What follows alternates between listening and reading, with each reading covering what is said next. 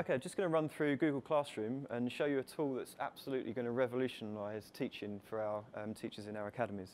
Uh, basically, Google have created a tool where you can literally in two minutes set up some assignments, add some students via a, a code, uh, and they can start working on that course immediately. It's really, really quick and it's so much simpler than virtual learning environments that we've used in the past.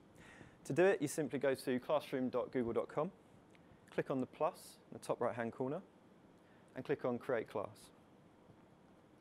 Give the class a name, so I'm going to use IGCSE. Click on Create.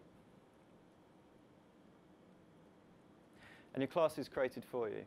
You can personalise the image to choose something that better suits the uh, lesson. So I'm going to go ahead change that. And then the final steps are to add your assignments and then invite your students. To do that, you simply click Assignment, give the assignment a name, and here you can attach a file uh, or a Google Doc um, and you can send that straight into the class stream. You can also apply a date to that uh, and a hand-in time. And then finally, to get your students enrolled on the course, you simply click on Students, take a copy of the unique class code, and then email that to the students and they can arrive at Classroom and complete the assignment.